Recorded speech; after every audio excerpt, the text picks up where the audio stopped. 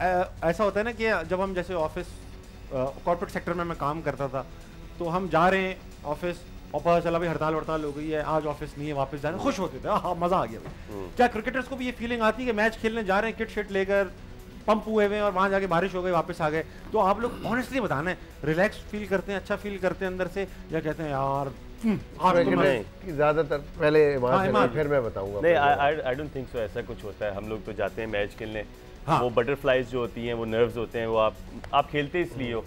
आप ख्वाहिश यही होती है किसी तरह एक ओवर एक बॉल गिर जाए मैच काउंट हो जाए फ़ीस पूरी मिल जाए। बहुत अच्छा मुझे अगर अबेंडन जाए फ़ीस अब टॉस पे है अब अब टॉस अब टॉस पे। अगर टॉस हो जाए तो फ़ीस मिल जाती है। टॉस तो अंदर ही कर लें। अब ये लोग नहीं लेकिन वो जो बटरफ्लाई और नर्व्स है ना और कंट्री से खेलने का जो मज़ा है हाँ। वो उस, उसकी फीलिंग डिफरेंट होती है तो हम चाहते हैं कि मैच हो। इवन पाँच ओवर हो दस ओवर हो डजंट बस मैच हो जाए। मैच होना चाहिए। पैसे खड़े हो जाए।